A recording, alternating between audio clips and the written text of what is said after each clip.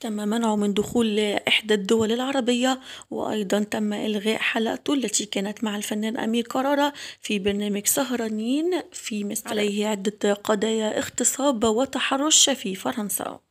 تم وصفه بالمغتصب وقضى عدد من السنوات في السجن. الآن في جيحة جديدة روان بن حسين تظهر في أحضان سعد المجرد في حفلته في دبي بالقبلات والأحضان. تابعوا معنا باقي الفيديو ولا تنسوا ابدأ رأيكم.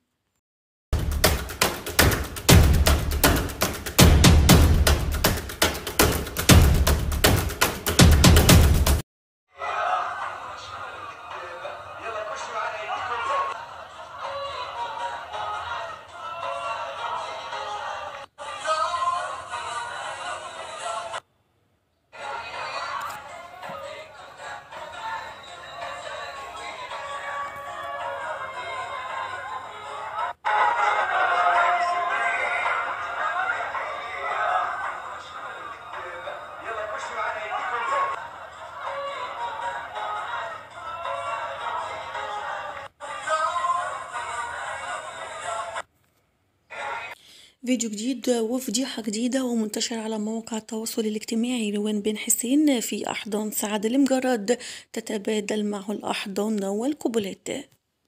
في البداية روان بن حسين جذبت الإنظار إليها بعد أن خسرت وزنها الزائد لتصبح عارضة أزياء تظهر في أهم المجلات في الوطن العربي. تم زواجها من رجل أعمال ليبي يوسف المكيرف ولكن تم طلاقها بفضيحة كبيرة أيضا. منذ أشهر ظهرت على مواقع التواصل الاجتماعي وأعلنت اعتذارها لزوجها السابق وأبو ابنتها. وقالت اعتذر لأب ابنتي واعتذر لابنتي على الخربطة اللي أنا سويتها على العنن. وأكدت إنها ضحية نفسها. لن أقول اليوم إني ضحية أنا ضحية نفسي وأنا غلطت بحق نفسي إني ضليت في علاقة أظن فيها إنه من يجرحك سيداويك. أنا حرقت نفسي بنفسي وأنا اعترفت إني أنا غلطانة.